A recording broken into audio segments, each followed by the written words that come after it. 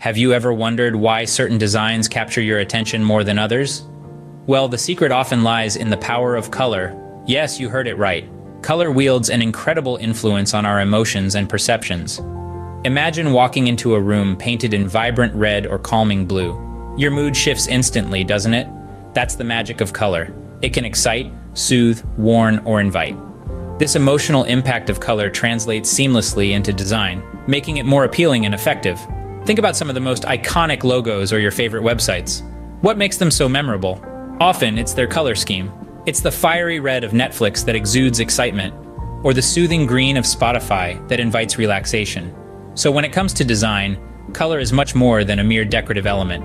It's a powerful communication tool that can evoke emotions, convey messages, and influence perceptions. Indeed, the right choice of color can make or break a design. So what is this magical element that can drastically alter our perception? Welcome to the world of color theory. Color theory, in its simplest terms, is a framework that helps us understand and use color effectively. It's an essential tool for artists, designers, and even marketers, guiding them in creating visual experiences that evoke specific emotions or reactions. Let's dive deeper and explore the building blocks of color theory. The colors themselves. We start with primary colors, red, blue, and yellow. These are the core. They cannot be made by mixing any other colors. Then we have the secondary colors, green, orange, and purple. These are the offspring of primary colors. When you mix two primary colors, you get a secondary color. Blue and yellow make green, red and yellow create orange, and blue and red give us purple. Next in line are the tertiary colors. These are the children of a primary color, and its neighboring secondary color on the color wheel. This includes colors like red-orange, yellow-green, and blue-violet, among others. Speaking of the color wheel, imagine a circular rainbow. It's a visual representation of colors arranged according to their chromatic relationship. It's your roadmap to understanding color relationships and creating harmonious color schemes. Now let's talk about warm and cool colors. Warm colors, including red, orange, and yellow, are vibrant and energetic. They're like the heat of the sun or the blaze of a fire.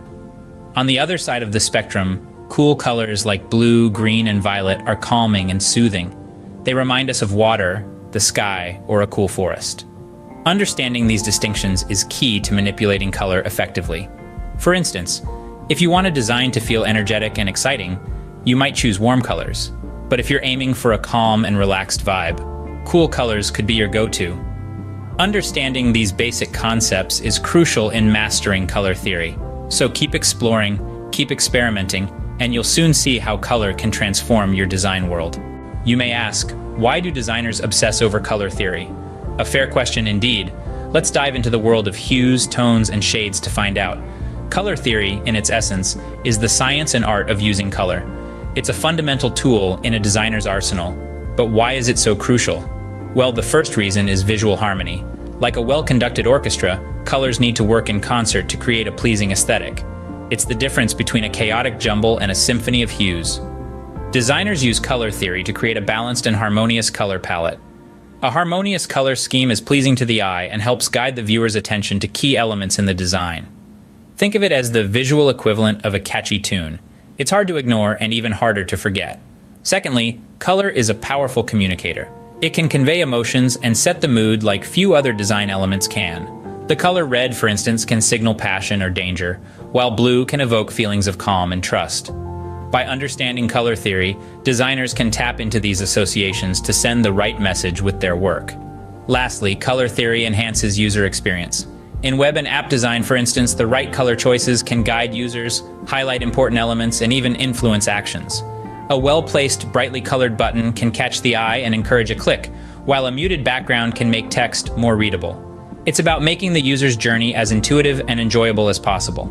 So you see, color theory is more than just picking pretty colors. It's about creating balance, conveying emotion, and enhancing user experience. It's a complex process that requires knowledge, intuition, and a keen eye for detail, and that's why designers can't get enough of it. In essence, understanding color theory equips designers to make informed and effective design decisions. It's a language of its own, and like any language, it takes time to master. But once you do, the possibilities are endless. Now that we understand the importance of color theory, how do we apply it in design? To start, let's discuss color schemes. They are the backbone of color theory application in design. Three of the most used schemes are monochromatic, analogous, and complementary. Monochromatic color schemes use different shades, tints, or tones of a single color.